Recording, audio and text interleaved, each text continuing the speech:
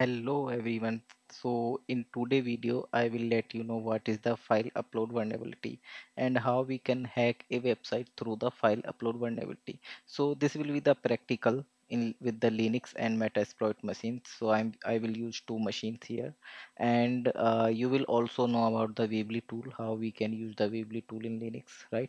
So let me show you I am using two machine here first is the Metasploit 2 Linux machine and second is the Kali Linux machine right? So Kali Linux is the attacker machine and uh, Metasploit is the uh, is the victim machine you can say right?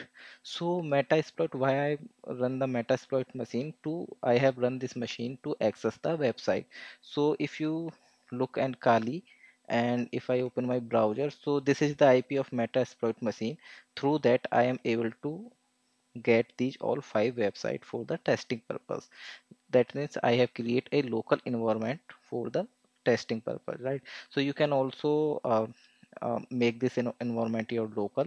So if you not seen my last or uh, past video uh, about the metasploit how, how we can configure that on local or how we can install that so you can visit on my uh, lecture that lecture and i will provide you the link in the description right? So today we will test on dvw website. So if i click here so username is admin and password is password by default. These these are the by default credentials if I log in so you can see here I am able to log in the website and there are multiple things which we can test on this. So guys here is the one tab dvws security. So there are three type of security high medium low. So in my past video i have already uh, showcase you how we can hack a website on the low priority or low priority security right? So today i will let you know on the medium and in my next video i will show you how we can hack through the high okay so i am setting this medium and submit right? So this is the medium. If i go to the file inclusion so uh, the include a file editor php so let's uh, SQL injection okay. If we go to the upload file right this is the correct tab. So if I so there is a uh, browse tab. If I upload a file so I I'm I should like I should able to get uh, to hack that website right? So first the thing is first I will create the first uh, I will create the backdoor right? Uh, through the Weebly and then I will uh, upload that backdoor into the target website right? So let's create the backdoor so how we can create through the Weebly? Weebly generate right? And password your password. So I have already create one backdoor so I will delete first that right? So I will sell.php or I will create another name okay so we will generate 1 2 3 4 5 6 and the directory where you want to generate that i want to root right and shell cell 1 dot php so this is the cell 1 dot php if i create here so you can see this cell 1 dot php generated. If you type ls and enter so you will find here is the cell 1 dot php so if you search here shell one dot php so I will copy that into the desktop. So now here uh, this is in desktop. Now I will upload that uh, shell1.php this is the backdoor or uh, we can say this is the uh, script which will hack the server right? So I have already created that backdoor and I will upload this into the targeted website. So our targeted website is that uh, dvws so if i browse this and upload this cell1.php here. Try to upload. So you will see no file selected or, or this file your image was not uploaded. So site uh, restricted us to we we were uh, like we we will not upload the php file. This is only we can just only the uh, we can only upload the image file. So how we can uh, upload now so for that we will use a tool that is burp suite. So i have already covered uh, about the burp suite how we can use in my past video if you not see. So you can also look at that video right? So now guys i will capture the request in this tool okay? And I will modify that request according to me and will transfer or move to the server. So for example, uh, if I browse again and select cell.php here, right up before upload, I will capture this request here. This is the burp suite tool. If you are able to look. So this is the proxy tab in proxy intercept and I will turn on this intercept so what will uh, happen it will capture the request whatever uh, we uh, whatever we uh, like request onto the address bar right? So i open that like on. So now uh, i have opened the or on the intercept is on right?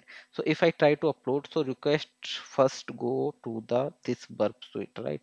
So i'm already select the cell.php file and try to upload. If I click on upload so now you can see here the file is uh, like the request is come into the my proxy or intercept in burp suite right? So now I will find the file name. So this is the file name. But what happened uh, I have already uh, uh, discuss that uh, server not allowed the php file. So what we will this is we will forward that right or intercept off so you can see file not uploaded and we are getting error. But if guys i will change the name of this php file. Sorry cell1.php rename cell1.php to jpg file. Jpg and rename so now my file my file name is shell1.jpg if i try to upload now so it is up uploading it is uh, like selecting if i upload so it will upload. But we need that file into the php format because this is the backdoor not a jpg file. So now i will open burp suite and on the intercept and click on upload here. If I upload here you can see I have captured the request. So this is the PHP encoded file. So we now in this uh, request we will change the name of our file so you can see here this is the file name cell dot cell one dot uh, jpg so now we need to this php because this is the php backdoor. So i will php right? And I will forward this request and intercept is off. So now can you can see here my file is upload. Even site restricted me to uh, like not able to upload but now through the burp suite I'm able to upload. Now I will copy that path right and open the new tab. You just copy your path here and the initial path